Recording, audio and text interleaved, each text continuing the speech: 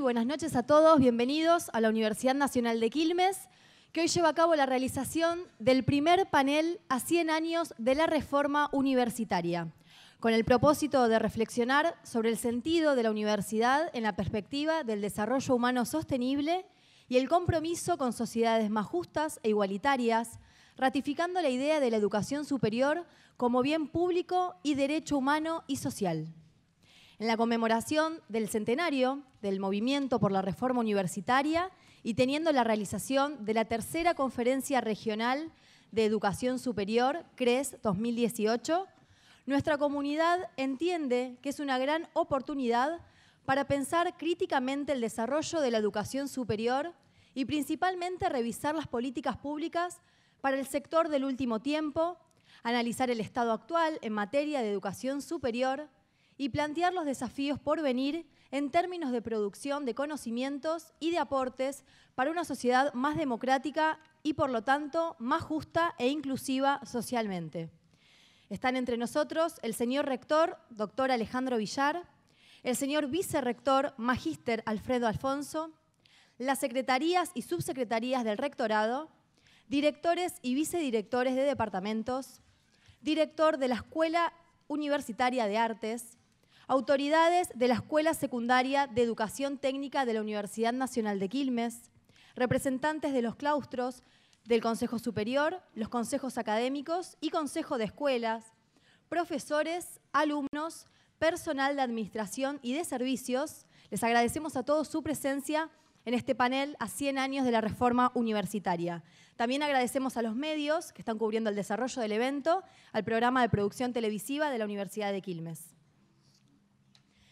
Les cuento que el programa de esta noche se ha organizado en dos partes. En primer lugar, estará constituido por una sesión inaugural con los saludos de bienvenida de las autoridades. Y la segunda parte está destinada a la presentación de disertaciones a cargo de expertos académicos. Entre ellos están presentes Adriana Puirós, es doctora, máster y licenciada en Pedagogía por la Universidad Nacional Autónoma de México y la Universidad de Buenos Aires, respectivamente, y doctora honoris causa de la Universidad Nacional de La Plata. Entre otras distinciones, recibió la beca de la Fundación John Simon Guggenheim, el reconocimiento de la Escuela de Altos Estudios de la UNAM, la mención especial de la Fundación CONEX y el primer premio ensayo del convenio Andrés Bello. Es profesora de la Universidad Pedagógica Nacional y asesora de la Confederación de Trabajadores de la República Argentina. Fue diputada en la Convención Nacional Constituyente en 1994, diputada nacional en tres periodos parlamentarios y presidenta de las comisiones de Educación y Ciencia y Tecnología de la Honorable Cámara de Diputados de la Nación. Fue ministra, directora general de Cultura y Educación del Gobierno de la Provincia de Buenos Aires y secretaria de Estado para la Tecnología, la Ciencia y la Innovación Productiva del Ministerio de Educación de la Nación Argentina. Fue investigadora principal del CONICET y es profesora consulta de la Facultad de Filosofía y Letras de la Universidad de Buenos Aires. Ha publicado 25 libros de su autoría y más de 50 en colaboración. Diego Tatián es doctor en Filosofía por la Universidad Nacional de Córdoba y doctor en Ciencias de la Cultura en la Escuela de Altos Estudios, Fundación Colegio San Carlos, en Italia. Investigador independiente del CONICET y profesor de Filosofía Política en la Universidad Nacional de Córdoba. Ha sido profesor invitado por las universidades de Puebla, San Pablo, París, Complutense de Madrid, Guanajuato, Texas, Estambul, México, entre otras. Es, autor de libros de filosofía y literatura. Algunos de ellos son desde la línea Dimensión política en Heidegger, Lugar sin pájaros, La cautela del salvaje, Pasiones y política en Espinosa, Detrás de las puertas, Espinosa, el amor del mundo, El lado oscuro, El último en dormir, Frágil, memoria de muertos, La conjura de los justos, Borges y la ciudad de los hombres, Lo interrumpido, escritos de filosofía y democracia. También fue editor de la obra reunida de Deodoro Roca. Es miembro comité de redacción de las revistas Nombres de Córdoba, Pensamiento de los Confines de Buenos Aires, Cadernos Espinosanos de San Pablo, Anacronía e Irrupción de Buenos Aires, Anales del Seminario de Madrid y Espinosa Estudios de Edimburgo. Ha sido director de la editorial de la Universidad Nacional de Córdoba y decano de la Facultad de Filosofía y Humanidades de la misma Casa de Estudios. Juan Carlos Pugliese es abogado por la Universidad Nacional de La Plata, estudió maestría en Relaciones Internacionales en la Universidad Nacional del Centro de la Provincia de Buenos Aires, UNICEM, es profesor regular de la Universidad Nacional del Centro en la Cátedra Política Educacional de la Facultad de Ciencias Humanas, fue el primer rector electo por los claustros en la Universidad Nacional del Centro entre 1984 y 1989, cuando asumió como subsecretario de Gestión Educativa del Ministerio de Educación de la Nación hasta 1989. Integrante de la Comisión Nacional de Evaluación y Acreditación Universitaria, CONEAU, fue presidente entre los años 2000 y 2002 de la CONEAU y luego durante cuatro años fue secretario de Políticas Universitarias del Ministerio de Educación, Ciencia y Tecnología de la Nación. Es profesor invitado de la Maestría en Docencia Universitaria de las Universidades Nacionales de Mar del Plata, la Universidad Nacional de San Luis, la Universidad Tecnológica Nacional y la Universidad de Mendoza. Son sus publicaciones más recientes La calidad en el sistema universitario argentino, La calidad educativa en un mundo globalizado intercambio de experiencias y perspectivas, políticas nacionales de educación superior en contextos de sociedad del conocimiento y reformas para la mejora de la calidad. Con ustedes, en primer lugar, haremos uso de la palabra del señor rector de la Universidad Nacional de Quilmes, doctor Alejandro Villar. Bueno, buenas tardes a, a todas y a todos. La verdad que es un día muy, muy lindo para la universidad poder estar aquí reunidos con un panel tan de tanto prestigio. Queremos, quiero agradecerles particularmente a los panelistas que hayan podido venir hoy.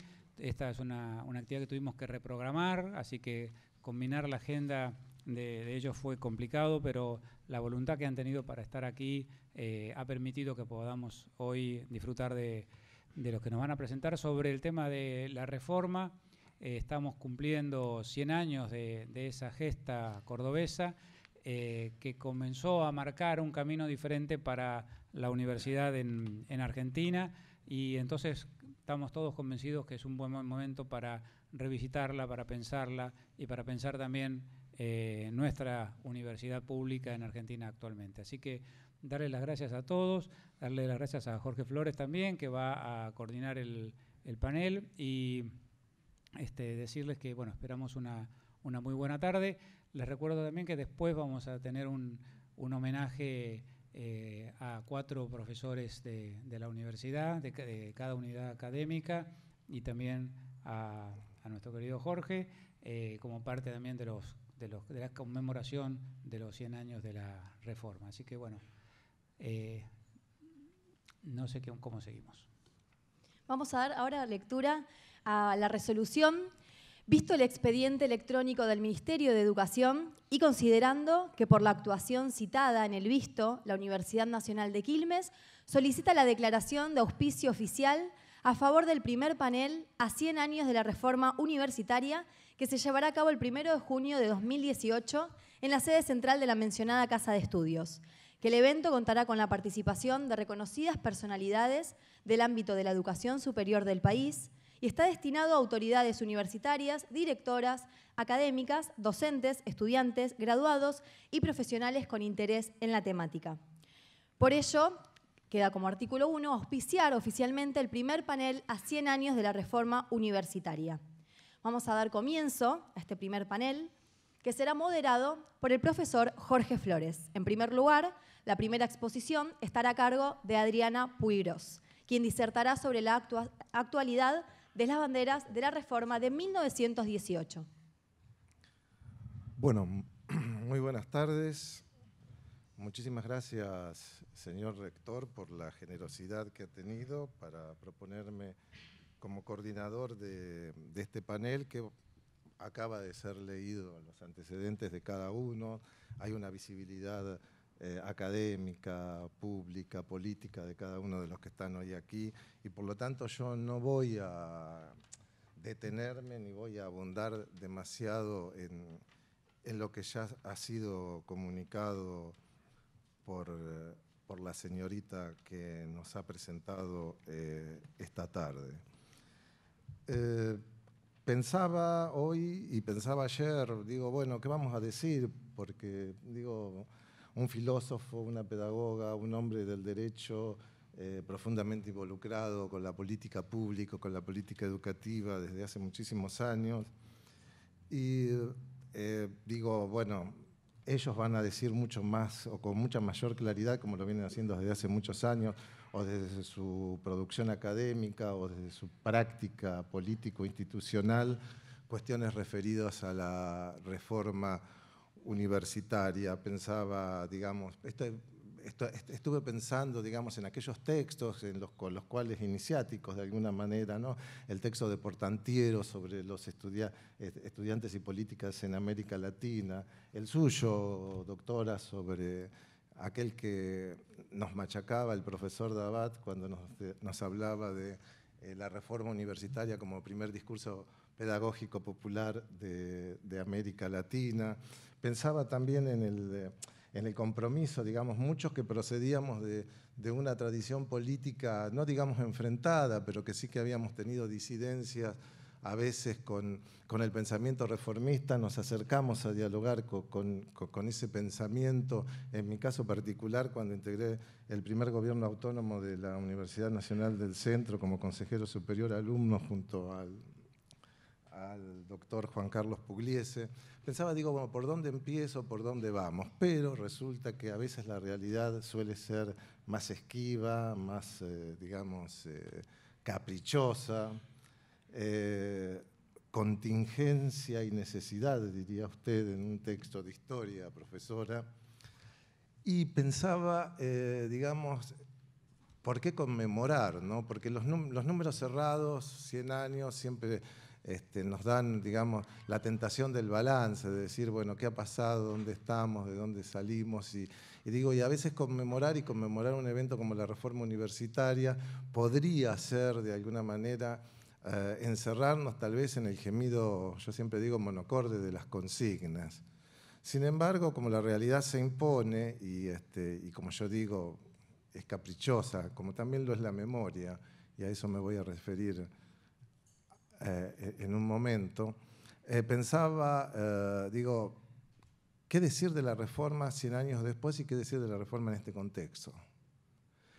donde Ayer aquí el maestro Cervini eh, me, lo hizo notar y también un mensaje que recibí de, la colega Santín en relación a este debate que se ha abierto sobre la necesidad o no de que haya muchas universidades en eh, la provincia de Buenos Aires.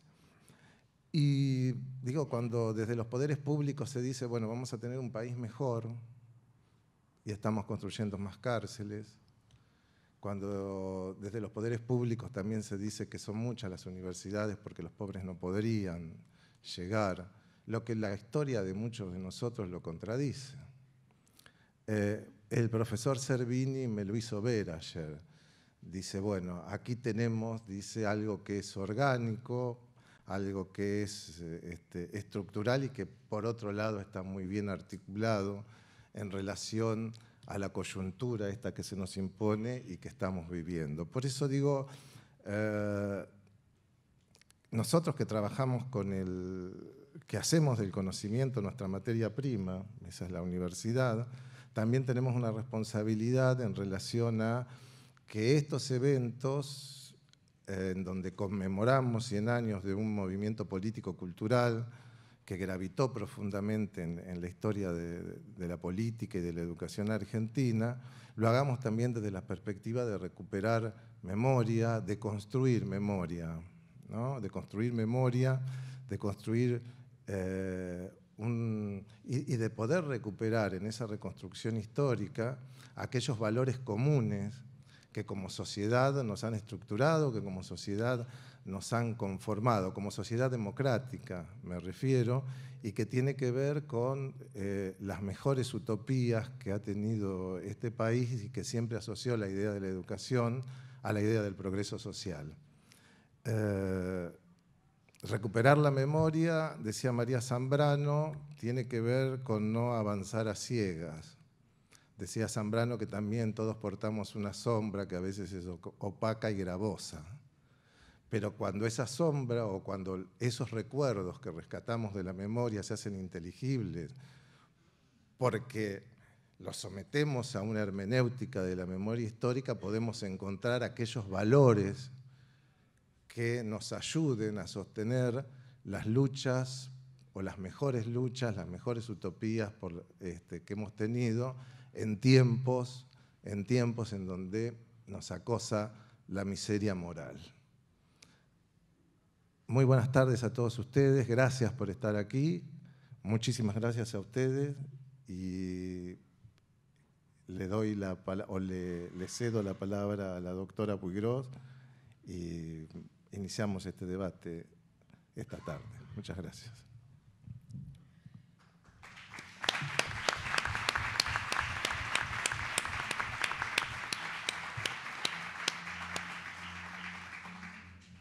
Bueno, buenas tardes a todos. En primer lugar, muchísimas gracias a la Universidad de Quilmes, muchas gracias, señor rector, muchas gracias al conjunto de, autoridades de la facultad, a los profesores, a los alumnos. realmente eh, me parece muy importante que se haga este acto, eh, porque es necesario, por muchas razones, que la conmemoración del, centenario del movimiento reformista de 1918 sea abordada desde diversos ángulos. Eh, y sin duda, eh, si Córdoba, eh, bueno, fue el, lugar donde se inició la reforma y, fue, uno podría decir que el corazón de la reforma empezó a latir en Córdoba y terminó latiendo en el conjunto de América Latina, me parece que no se puede reducir al acto oficial en Córdoba el conjunto de de, homenajes, de puntos de vista, eh, de abordajes que decididamente merece el movimiento reformista. Eh, sobre todo, digamos, porque cuando se remonta a su fundación y mm, por diversas razones, eh, estoy últimamente leyendo dichos, discursos, acercándome nuevamente al pensamiento de algunos de los más eh, importantes eh, voceros del movimiento reformista de aquella época, eh, uno encuentra que, al menos, bueno, es una opinión, que, que la característica de, de, aquel movimiento estudiantil fue precisamente la de ser un movimiento. muchos autores intentaron identificar al movimiento reformista ¿sí? con, con, un partido, con un sector social, etc. Pero, eh, eh, digamos, el, eh, si uno analiza cómo se compuso y cómo comenzó y cómo pensaban aquellos jóvenes del, del 18, uno encuentra que en realidad se articulan concepciones, ideas, sectores sociales distintos, ¿sí? y que quizás uno de los grandes valores del movimiento reformista fue esa capacidad de síntesis, de síntesis de, eh, demandas, ¿sí? de demandas que, como dice el manifiesto liminar, ¿sí? vamos a repetir esa maravillosa frase final, es decir, son dolores ¿sí? que quedan y son deberes que tenemos nosotros hacia adelante. Eh, entonces, eh, realmente tratando de, comprender mm, qué decían, qué pensaban, de dónde venían, eh, veía que en los primeros años del siglo, en la primera década del siglo, en realidad había una gran eh, limitación ¿sí? de los grupos intelectuales en la Argentina, que eran grupos bohemios, en donde, bueno, en donde muchos se identificaban con Rubén Darío, ¿no? O sea, la figura de Darío ocupaba un lugar principalísimo, dado que había vivido en Argentina, eh, y su pájaro azul eh, tenía de alguna manera sí, las aspiraciones y, las metas a las cuales eh, los jóvenes aspiraban a llegar, ¿no? pero llegado el 18 habían pasado otras cosas, habían pasado cosas muy fuertes, en donde uno ve al examinar el, qué pasó en el 18, qué pasó en Córdoba, qué, se transmitió a Buenos Aires, por qué después fue a Perú, por qué de ahí salió el APRA, por qué eh, casi seis, siete, ocho años después eh, se movió México en relación a lo mismo, y por qué en Brasil un grupo de tenientes se eh, levantó su voz por la reforma universitaria. Entonces uno va para atrás y ve que bueno, que en realidad había ocurrido la Gran Guerra, ¿no?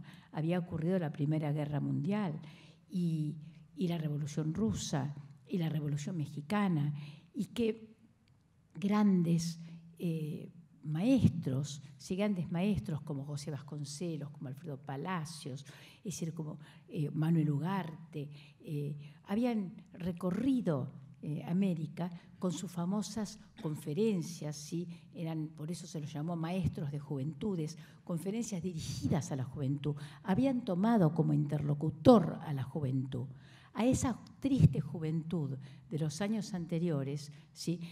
a la cual eh, uno veía, uno encuentra, claro, en, las, en los folletines de la época, en en, escritos de los que se publicaban en forma de folletines, donde se encuentran como una juventud sin destino. Eh, sin embargo, de pronto se transforma en la gran protagonista de un movimiento ¿sí? que iba a plantear eh, innovaciones importantísimas, no solo para la época, sino para la actualidad. Y, quiero decir que ese movimiento del 18 sintetiza eh, sintetiza eh, otras cosas. Por ejemplo, eh, ahora lo veis desde el punto de vista del campo de la educación, sintetiza movimientos de los estudiantes secundarios. En Argentina, lo digo como hipótesis, yo creo, me parece que siempre los movimientos universitarios fueron precedidos por movimientos de los estudiantes secundarios que cuando hay movimientos en los secundarios hay que abrir los ojos. Detrás viene, luego, a continuación, viene otra cosa. Sí, ocurrió con la ley Calio Libre, ocurrió en los años 70, ocurrió muchas veces. Y, eh, en el 18 también. Y, además, si van, en el 18 fueron anticipados y además continuados por movimientos docentes, las primeras huelgas docentes en la Argentina.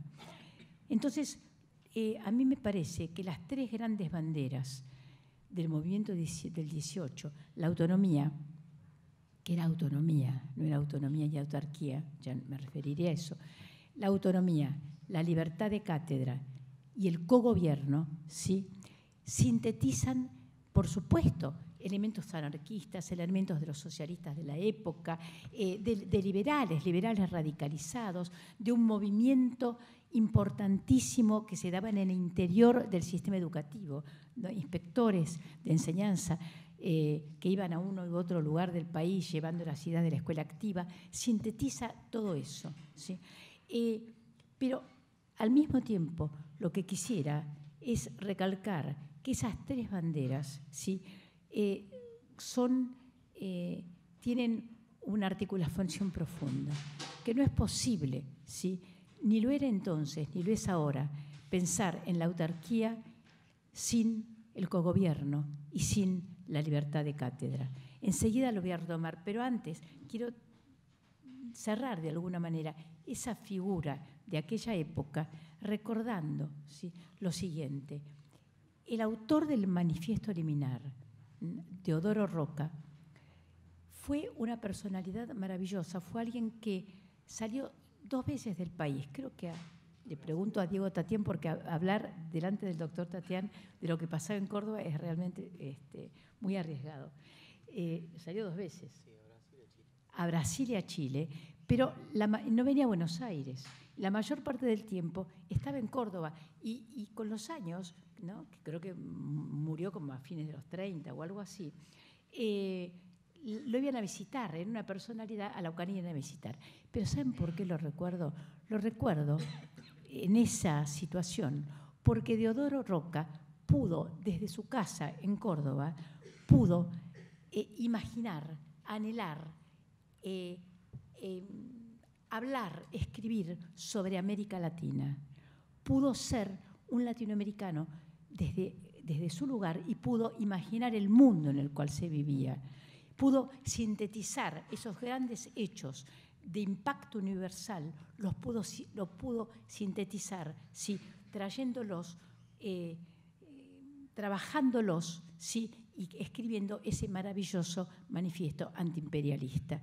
Claro, puede resultar un poco eh, burdo lo que voy a decir, pero la verdad es que lo asociaba con esto de la salida al mundo, eh, que estamos escuchando últimamente, la salida al mundo financiero, ¿sí? al mundo financiero con, con no solamente desde el punto de vista económico, sino también con la idea de, eh, los negocios con las universidades, con la idea de una autonomía de mercado, con la idea de poner nuestras universidades en el mercado, en lugar de, sí, como aquellos jóvenes del 18, pensar ¿sí? en nuestras universidades ¿sí? como eh, centros de producción de cultura en el más alto sentido del término, porque cultura es formar a profesionales, porque cultura es la investigación, sí, porque cultura es establecer los puentes con el conjunto de la sociedad. Entonces, eh, me parece que eh, en, en, estos momentos el recuperar, recuperar el paradigma. ¿eh? El paradigma del 18 tiene un altísimo valor político, pero además es una propuesta cultural. Es una propuesta cultural. Decir perdieron vigencia o siguen teniendo vigencia, me parece que es una discusión que, que, es limitada, porque, digamos, eh, desde ahora y desde este lugar, eh, por supuesto que cada vez que pronunciamos la categoría, el término autonomía, lo ligamos a autarquía. Y uno recuerda entonces la discusión, que recordábamos hace un rato con, el doctor Juan Carlos Pugliese, la discusión que hubo en la Constituyente en 1994, mm, en donde eh, se discutió mucho qué querría decir autarquía y hasta dónde podía llevar ¿sí? el, la, categoría autarquía ¿sí? como limitadora en alguna lectura, limitadora de la autonomía o modificadora del término autonomía. ¿Cómo voy? Eh, entonces, eh, el recuperar aquel paradigma no significa repetirlo, significa decirlo, pronunciarlo, ¿sí? para entrar en una discusión que es absolutamente actual. Es decir, incluso uno podría, así, eh, algo, en, algo en broma, pero demasiado, demasiado en serio, uno podría decir, si quisiera sintetizar la situación actual, uno la podría sintetizar quizás en aquel dicho de Caballo de eh, mandar los, eh, los investigadores a lavar los platos, sumado a la frase de González Fraga, cuando dijo hace poco, bueno, dijo unas cuantas, pero cuando hace poco señaló al, empleado, ¿no? Al de la clase media que se había equivocado y que no entendía de que su lugar era, que no era el de viajar al exterior ni tener un celular y que las cosas por fin habían llegado a su, lugar y por supuesto ¿sí? a la reflexión eh, eh, económica de, de a la reflexión social de González Fraga, uno podría eh, agregar para completar el paradigma eh, la eh, filosófica reflexión de la gobernadora de la provincia de Buenos Aires, es decir, cuando desde un lugar que le es propio, como el Hotel Sheraton, dijo la verdad de lo que piensa. ¿sí? Los pobres no pueden llegar a la universidad. Entonces, me parece que estas tres declaraciones construyen un paradigma desde el cual uno tiene que, situarse para ver cómo se reflexiona desde ahí eh, respecto a la autonomía, la libertad de cátedra y el cogobierno. Eh, creo que quiero recalcar la importancia del cogobierno, que no nos quedemos solo con la autonomía y con la libertad de cátedra. Eh, el cogobierno, el cogobierno eh, bien entendido, ¿sí? el, cogobierno bien trabajado, ¿sí? el, cogobierno que debe ser cada vez más representativo, eh, fue en su momento algo avanzadísimo y que, tuvo antecedentes, eh, sobre lo cual uno puede hablar muchísimo en las escuelas, en, lo que fue la escuela activa en la Argentina, en inspectores como Vergara, en, el propio Hipólito Yrigoyen, que, que hacía con sus alumnas, ¿sí? en, la escuela normal, hacía eh, un trabajo interesantísimo de co-gobierno de su cátedra, maravilloso. Entonces había muchos antecedentes. Ahora, el, el, cogobierno, eh, a través de todo el siglo, siguió siendo una de las formas más avanzadas de gobernar una universidad. Y también no es solamente en, relación a la universidad, sino también es en relación al Estado. La idea de autonomía vinculada al cogobierno, vinculada a la libertad de cátedra, no autonomía o autarquía de eh, como se piensa desde el neoliberalismo, como organismos, sí, ah, como el Banco Central, ¿no? como si el Banco Central fuera el cuarto poder, o el Instituto de Evaluación, ¿eh? que se imagina como algo separado del conjunto del sistema educativo. En cambio, si uno piensa si la vinculación entre la autonomía, el cogobierno y la libertad de cátedra, y además, ¿sí? que quito el además, y sobre todo, incluye la gratuidad, incluye la gratuidad establecida finalmente por el gobierno de Perón y mencionada ya eh, por Gabriel del Mazo en sus primeros escritos, en el, 18, 19. Eh, si uno toma esos cuatro principios, entonces tiene sin duda un importantísimo programa educativo para reflexionar, para investigar, para enseñar ¿sí? y para defender. Muchísimas gracias.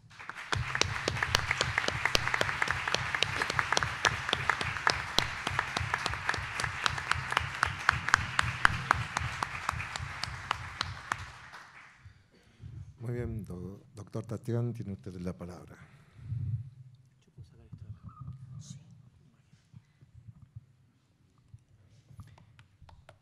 Bueno, muy buenas noches para todos y para todas.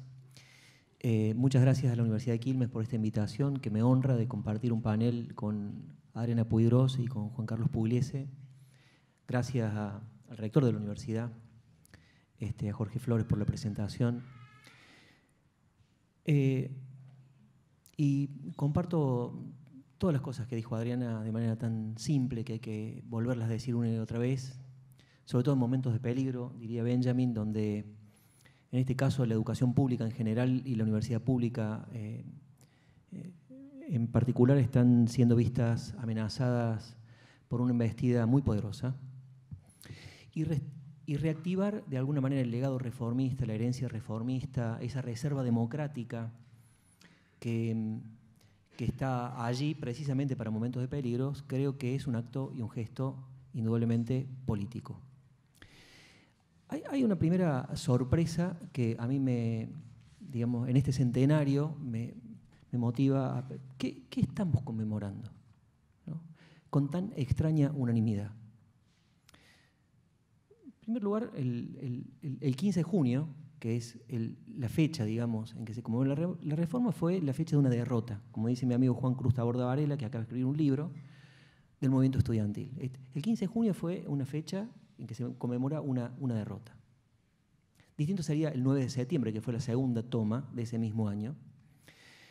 Pero eh, si uno piensa, la reforma efectivamente tuvo un, inicio en el año 17, a fin del 17, con, cuando digamos, se, suprimió el internado del Hospital de Clínicas. Era un conjunto de estudiantes del interior del país de escasos recursos de, de medicina que vivían en el Hospital de Clínicas, que era un hospital escuela, lo sigue siendo, no eran muchos, creo que eran algo así como 30, pero la cuestión es que al director del hospital en ese momento se le ocurrió decir de que por razones de moralidad y por razones, no me acuerdo qué más, se suprimía.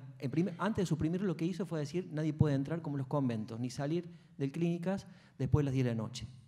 Los chicos eran, lógicamente, chicos de 20 años, 20 y pico de años, algunos llegaban bastante tarde, y se arma, digamos, hay una serie de revueltas en, el interior de la clínica hasta que se suprime el, internado. Esto ya en diciembre, vienen las vacaciones, y en marzo se crea el Comité Pro Reforma Universitaria, una gran manifestación eh, por las calles de Córdoba.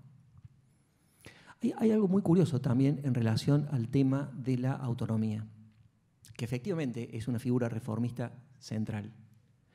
Pero si uno lee los textos de los reformistas originales, no aparece la palabra. Si uno hace una pequeña filología de los textos reformistas, no aparece. En Deodoro, por ejemplo, la palabra autonomía quiere decir eh, independencia nacional respecto de poderes coloniales, cuando la usa. Más bien se incorpora al acervo, la cultura reformista un poco después. Pero también la otra cosa curiosa es que la demanda originaria de los estudiantes fue la de una intervención del Poder Ejecutivo Nacional para reforma de la universidad.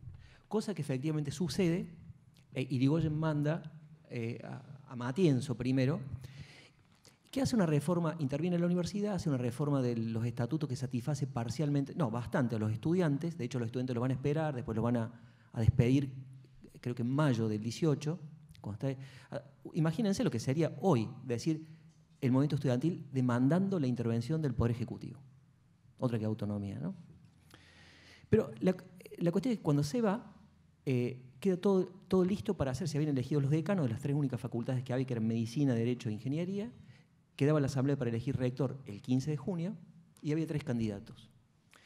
Esos tres candidatos eran el candidato de los estudiantes, que se llama Martínez Paz, el candidato de la Corda Frates, el candidato clerical del diario Los Principios, Antonio Honores, y un tercer candidato expectable que se llamaba Antonio eh, Alejandro Centeno, que estaba allí.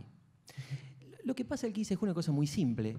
Eh, eh, a las 3 y media de la tarde se convoca para la asamblea, van a dos vueltas, ninguno obtiene los votos necesarios, y en la tercera vuelta los votantes del tercer candidato, de Centeno, digamos por ciertas maniobras de la, la Corda Frate, era una logia clerical que estaba constituido por miembros de todos los partidos, del Poder Judicial, de la Universidad, del Poder Político. Incluso forma parte del gobernador eh, de la provincia en ese momento, que se llama Julio Borda, era un radical azul, es decir, enfrentado con Irigoyen, que mandaba a la policía siempre que podía, a los estudiantes y a los obreros, porque esto también es importante. En el año 17 se crea la Federación Obrera Local de Córdoba y hay un obrerismo de la reforma universitaria que es muy importante. De esto, si nos queda tiempo, podemos hablar eh, un poquito después. Pero la cuestión es que cuando los estudiantes se enteran de que eh, los votantes de Centeno vuelcan los votos en tercera vuelta para Nores, y queda 24-19 me parece la votación, simplemente derriban la puerta a patadas, sacan a patadas a los profesores del salón donde se llevaba adelante la, interrumpen la asamblea en el mismo momento que se estaba conociendo la elección, toman la universidad y empieza una obra de destrucción. Esto quiere decir, destruyeron muebles, tomaron los cuadros de la, galería, descolgaron cuadros, tomaron los cuadros de los reactores y efectivamente los destruyeron, tiraron los muebles por la ventana, los cuadros por la ventana en la calle Obispo Trejo, y así hasta el final del día, en el que por una cuestión estratégica decidieron abandonar la universidad y cuando pasaron por la iglesia de la compañía que estaba al lado, la apedrearon con todo lo que tenían eh, a mano. Eso fue el 15 de junio, es decir, uno, por ejemplo, cuando hay un, eh, el Encuentro Nacional de Mujeres, o lo que yo no sé si existe en Córdoba, existe la Marcha a la Gorra, que es lo de los pibes que salen, digamos, que son objeto de la violencia policial, se llama por eso Marcha a la Gorra. Generalmente quedan pintadas en la catedral, en las iglesias, y hay un gran escándalo mediático durante eh, no sé cuántas semanas. Lo de la reforma fue, digamos, nosotros estamos conmemorando un conjunto de destrozos lo primero que hay que, decir. No porque a mí me guste, ni, es decir, la reforma fue un hecho violento. Cosa que no, estamos autorizados para diluir. Esto no quiere decir que lo debemos repetir. Digo, lo primero a decir es que la reforma fue un, hecho violento que vulneró el, normal desarrollo estatutario, institucional de la universidad ese 15 de junio a las 3 y media de la tarde. ¿No? ¿Qué conmemoramos? Pero eh, e, esto en general no aparece y hay una, por eso digo, una extrañísima unanimidad donde todo el mundo, digamos, si, cosas parecidas, cuando suceden cosas parecidas hoy, o si la reforma sucediera hoy, todos quienes conmemoramos la reforma lo que estaríamos haciendo es lo que hicieron los profesores en el año 18, es decir, desgarrándonos las vestiduras. Pero esto pasa siempre en la historia, ¿no? de la Revolución de Mayo en, en adelante, me parece. Pero lo, curioso de la reforma, para mí, es un poco la, eh, la, trama ideológica que había allí. Por ejemplo, yo pensaba, lo, primero que decía Adriana, que está en el manifiesto liminar, que eh, escribe Deodoro Roca, muy seguramente, porque ustedes saben, el manifiesto liminar no está firma, Deodoro Roca era egresado, al igual que Taborda, al igual que Orgaz, al igual que Capdevila, las grandes cabezas de reforma eran ya graduados. Y está firmado por estudiantes, por eh, eh, Valdés, por eh, Bordavere, hermano de Enzo Bordavere, Ismael, por Enrique Barros, etc.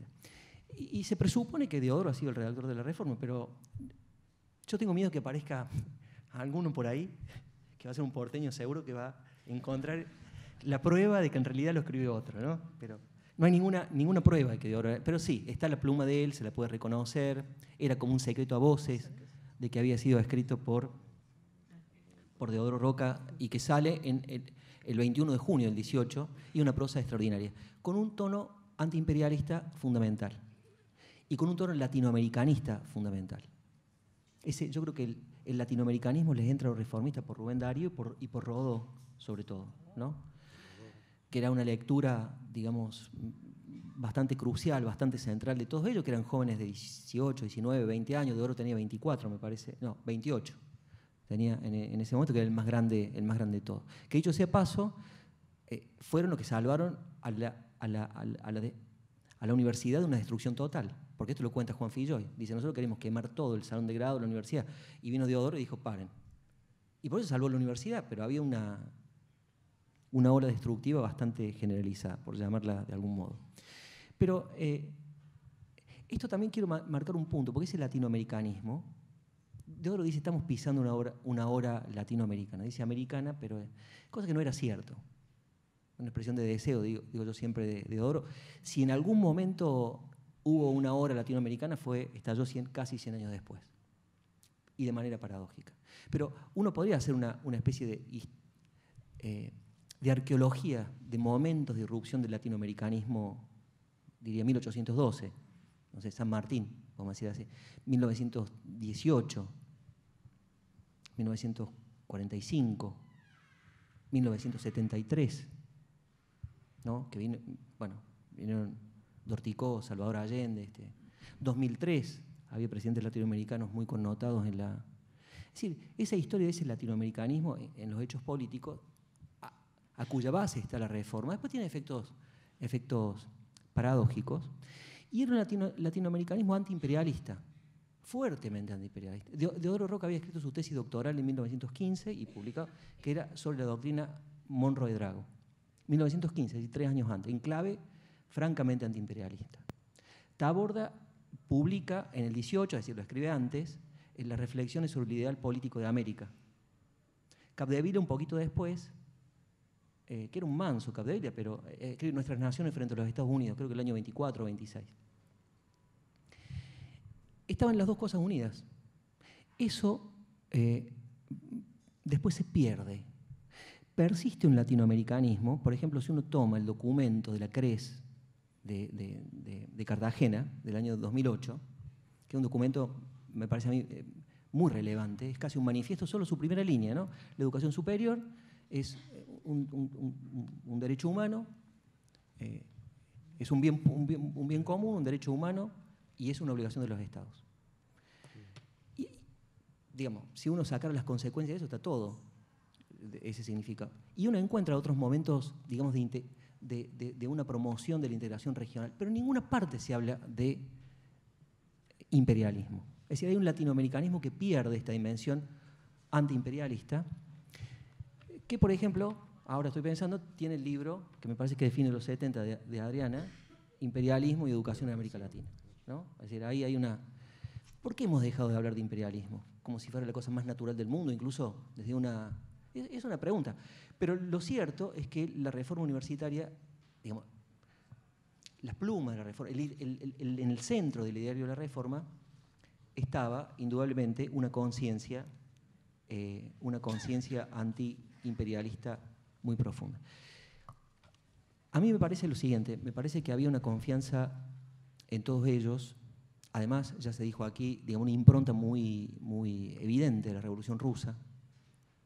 Si uno lee la Gaceta Universitaria del año 19 en particular, hay una serie de, hay una serie de, textos que bancan a la Revolución Rusa contra la, contra la cobertura de la prensa internacional, que deforman todo. Por ejemplo, hay un, hay un artículo muy curioso que habla de la situación de la mujer en Rusia,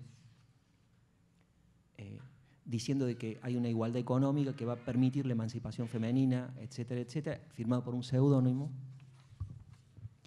Esto también es una cosa que a mí me parece que es interesante de ver. No, no hay, aparentemente la reforma es un hecho masculino. No, no hay mujeres en la foto, en la, iconología reformista. ¿no?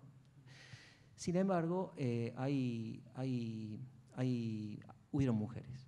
Una se llamaba, si quieren hacer la investigación se la regalo, María Ofelia Grandoli, que cuando eh, que, tiene una importancia muy grande. Lo que pasa es que estaba siempre atrás y cuando va Alfredo Palacio en el año 18 a decir un discurso en Córdoba bancando a los reformistas, por supuesto antes de Palacio habla de Odoro no sé qué más, y, y María Ofelia Grandoli le permiten decir un discurso. ¿no? Y está muy, muy, muy poco estudiada. Después hubo otras mujeres en la cultura reformista, pero que no vienen, eh, no vienen al caso. Pero lo cierto es que sí, ya en la Gaceta Universitaria estaba el tema. Además, algo que vos dijiste, Ariana, me parece que está muy bien. Yo creo que la... No, en esto, esto, a ver si lo puedo decir. Eh, la, reforma universitaria fue anticapitalista, fue antiimperialista, había elementos socialistas, había elementos comunistas, anarquistas, irigoyenistas, eh, fíjense, indigenistas, pero más adelante. ¿no? Deodoro dice en un texto, eh, el, problema del, el, problema, indígena no, se soluciona hasta tanto no le sean restituidas las tierras que le pertenecen por derecho. Hay, una dimensión, digamos, social de la reforma que es eh, impresionante. Venimos hablando recién la defensa de los presos políticos, este, los comités antirracistas, que se, crean eh, en ese momento, la defensa de los exiliados. Hay una dimensión social que está en, la cultura reformista de manera central y esto lo quiero marcar eh, por lo siguiente, porque yo creo que la gran disputa hoy en relación a la reforma, yo creo que fue Agosti el que escribió en algún momento, digamos, hizo una interpretación diciendo hay una derecha reformista, lo que llamaríamos reformismo, a secas, y una izquierda reformista. ¿Cuál es la diferencia entre una y otra? Lo que yo recuerdo. lo, que, lo, que, podemos llamar una, derecha reformista es una interpretación de la reforma que la concibe como una, un episodio puramente universitario. Es decir, la reforma se trató de abandonar una universidad clerical, retrógrada, perimida, por una universidad científica y laica, modificar el estatuto, mejorar los planes de estudio, en fin, todas cosas, la reforma efectivamente fue. El único problema que, desde mi punto de vista, que comulgaría con una izquierda reformista, si me fuera permitido hacerlo, creo que la reforma tuvo una dimensión social enorme y que, incluso el protagonismo de la universidad, que se adjudicaba a la universidad en los primeros tiempos, se va perdiendo poco a poco. Es decir, los propios reformistas admiten la derrota en la década infame, en la encuesta de Flecha, que participan todos, de La Plata, reformistas de La Plata, de Tucumán, diciendo eh, la reforma fracasó, no habrá reforma universitaria, es la frase de oro, hasta tanto no haya una reforma social.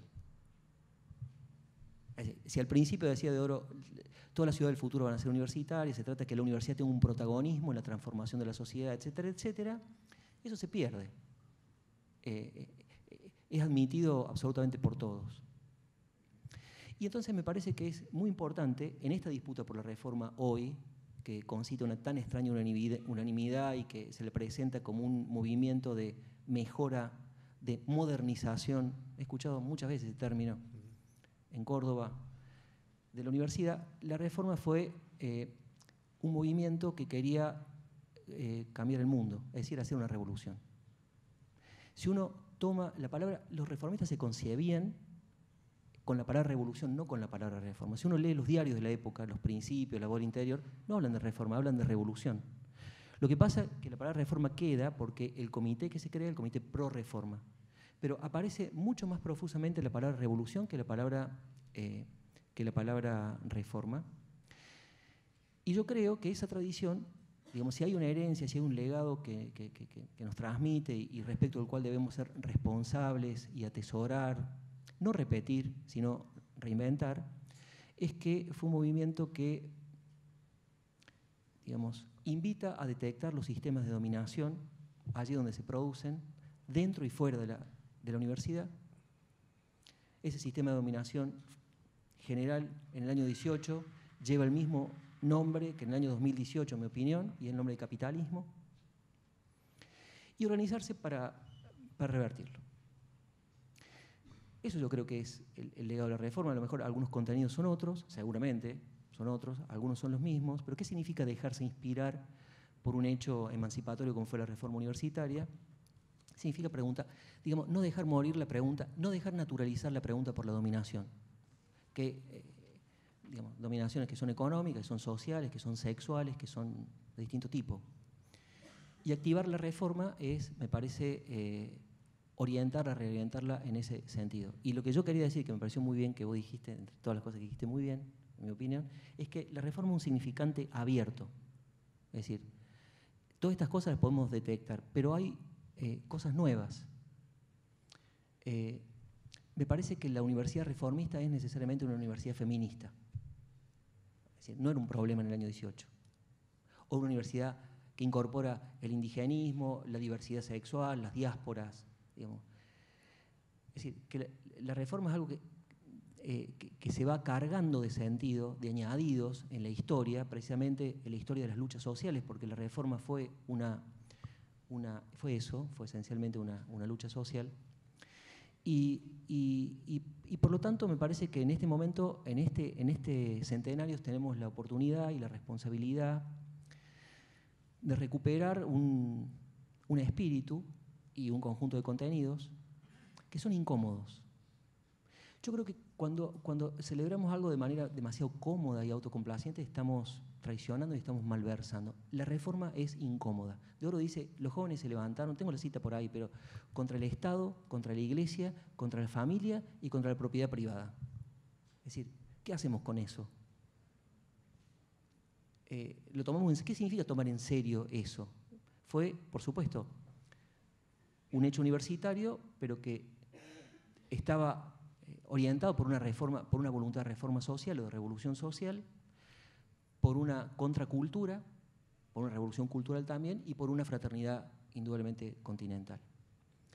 Y entonces yo diría, no, sé cómo voy de tiempo, pero diría, no sé si, para cerrar, y después nos queda el tema del obrerismo, la reforma universitaria, que es muy, es muy interesante porque está muy, eh, ¿cómo se dice?, ocultado.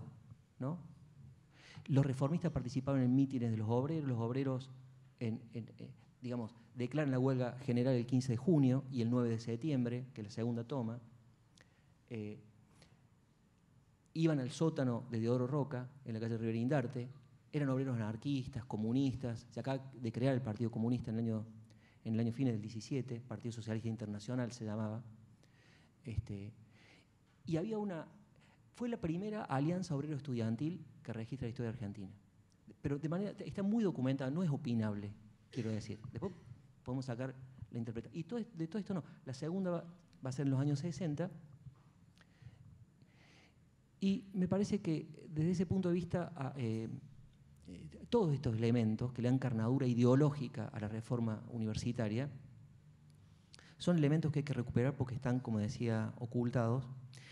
Y básicamente eh, la obra de la libertad, que es la expresión que una expresión muy poderosa del manifiesto liminar, me parece que en la conciencia reformista, que yo creo que es al revés, en realidad, no es la reforma universitaria lo que nos permite comprender eh, de alguna manera los motivos ideológicos posteriores, en la década del 20, en la década del 30, sino que lo que va a pasar a posteriori, lo que permite comprender lo que estaba encriptado en la reforma universitaria.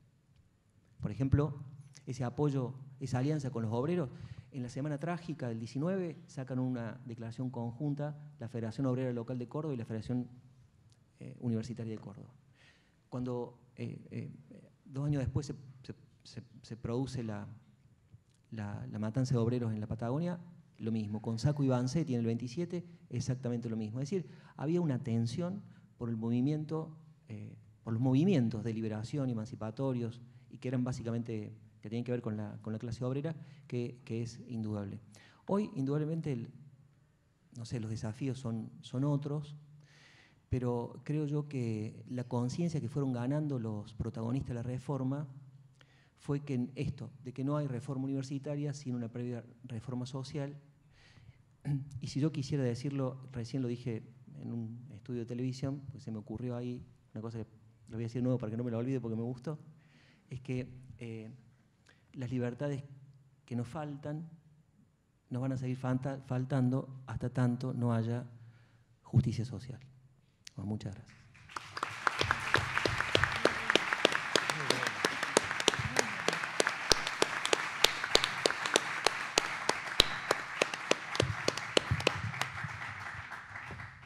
Bien, es el turno del doctor Juan Carlos Pugliese, la reforma universitaria en perspectiva, es el título de su intervención.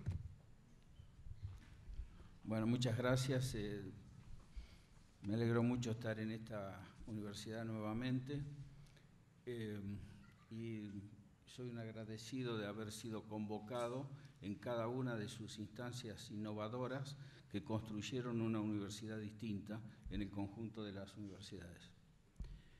Em, me inspira también el Nicolás Casulo, el, cuyo nombre lleva esta sala, porque él participó en la Universidad del Centro de un grupo de pensamiento este, cuando en 1984 este, se discutía la construcción también de un, nuevo país. Y Nicolás Casulo tiene un libro eh, que es una novela, pero está dedicada a su abuelo eh, inmigrante y anarquista, el frutero de los ojos radiantes, que, eh, de acuerdo a lo que decía Diego, tiene mucho que ver con la posición eh, de los em, que no formaban parte de ese círculo que estaba en Córdoba, pero que sí este, la repercusión que tuvo compartían este, las mismas ideas antiimperialistas, anticlericales, eh, de unidad latinoamericana y que están expresadas en la novela de quien lleva el nombre esta sala. Eh, Creo que mm, lo que tenía preparado repite eh, algunas cosas que se han dicho muy bien acá, entonces voy a, prescindir, pero sí quiero afirmar eh, cuáles eran los reclamos originalmente expresados en la reforma del 18 que conservan aún su vigencia. Y entonces afirmamos, democratizar el gobierno universitario instaurando un colegiado de claustros, consagrar la autonomía académica de las instituciones universitarias y de las cátedras, mejorar la enseñanza a través de la periodicidad de las cátedras para garantizar la renovación de las ideas, la inserción de las universidades en el medio a través de la extensión universitaria. En política internacional, se, impulsó la unidad latinoamericana y la oposición a las intervenciones de las potencias hegemónicas en la región. participar en la solución de problemas sociales, económicos, políticos y en la organización de campañas de divulgación de las ciencias y la cultura. Estas preguntas que nos debemos hacer, dice, ¿qué exigencias sociales hacen imperativa la promoción de una nueva reforma y en qué línea. Y aquí eh, me gustaría incorporar lo que ha sido el derrotero de la UNESCO en la discusión universitaria, que eh, tuvo su anclaje en la Declaración de la Conferencia Regional de Educación Superior, la CRES primera que se hizo en Cartagena de Indias, y que eh, fue un antecedente de la Conferencia Mundial de Educación Superior.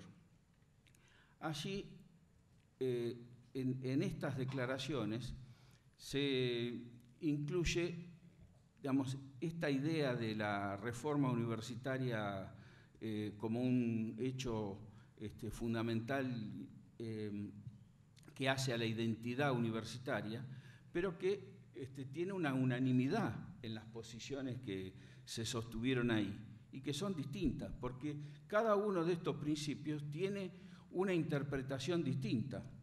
A mí me ha tocado participar em, en consultorías en, en, Venezuela y en Ecuador eh, hace unos años.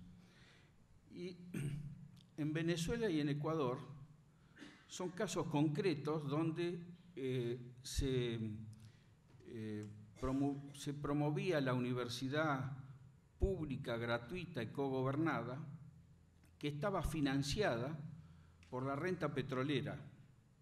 Y eso significaba en esos países no concebir a la universidad como una institución para la movilidad social ascendente, sino reproducía la desigualdad social porque solo accedían a la universidad aquellos eh, que venían de, escuelas públicas, eh, escuelas privadas este, muy caras y por lo tanto eh, la desigualdad social existente en esos países también se, se agrandaba en función de ese esquema donde la universidad era concebida de una manera, pero este, la arraigambre social que tuvo la reforma universitaria no está presente en, esos países. Esto, por supuesto, ha sido corregido en los últimos años y, eh, en caso concreto de, Ecuador, la instalación de la gratuidad y este, los procesos de formación docente que han tenido este impacto sobre la mejora en los niveles anteriores a la universidad, que es una de las asignaturas pendientes que nosotros tenemos. Porque así como la, reforma se dio en un clima de época de cambios y mm, estuvo inspirada sí, en, romper los esquemas existentes entonces, hoy el, clima de época nos, ubica en una sociedad manifiestamente desigual. Y esa eh, desigualdad obliga a que la universidad mire hacia el sistema educativo y haga su aporte eh, eh, en ese sentido. Por eso yo lo que traía acá es una declaración que seguramente va a ser tratada en, en, Córdoba en la semana de la reforma, donde se reúne la Conferencia Regional de Educación Superior, eh, y como eh, dice su, quien va a hacer la conferencia inaugural, Boaventura dos Santos Sousa, eh, el dato es imprescindible. La neutralidad frente al dato es imperdonable. Y el dato está significando que en nuestro país existe una cobertura total para eh, el primer año de la enseñanza obligatoria, pero solamente 50 de los que inician la escolarización a los 5 años terminan la educación obligatoria, que es el secundario. Y encima la universidad tiene manifiestos eh, problemas de retención, una baja titulación a pesar de que eh, rigen los principios de la reforma en el modo de configurarse y de, gestionarse la universidad.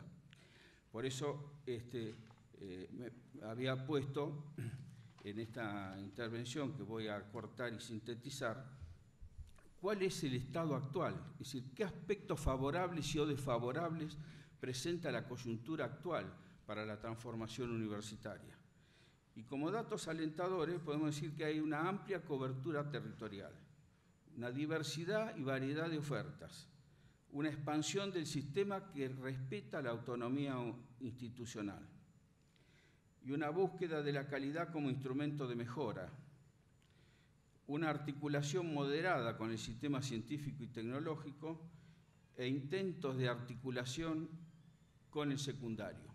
Aquí quiero hacer una, una mención. Si nosotros le preguntamos a, cada una de las universidades sobre cada uno de los problemas que existen, va a tener un programa específico. Pero si hablamos del conjunto de las universidades, ese programa este, conjunto no existe.